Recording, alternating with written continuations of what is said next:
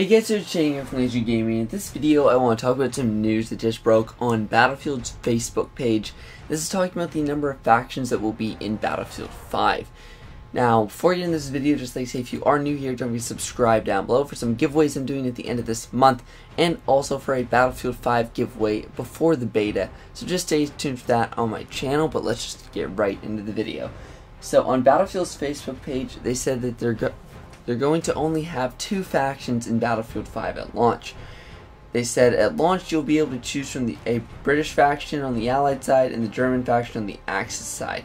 Through the tides of war, we will evolve the Allied and Axis forces.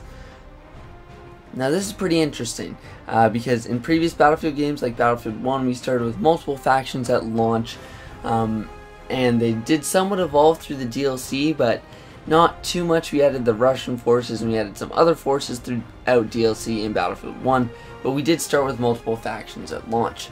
seems like in Battlefield 5 we're only starting with these two factions and then right at the start of the game we will start building up other factions in the game.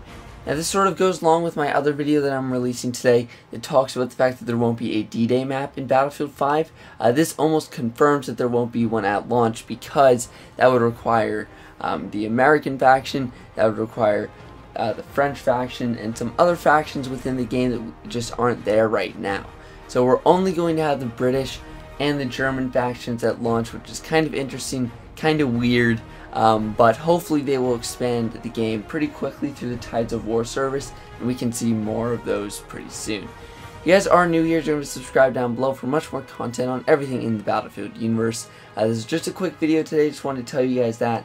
Um, but that's what it was for you guys. Thanks for watching, and I'll see you guys next time.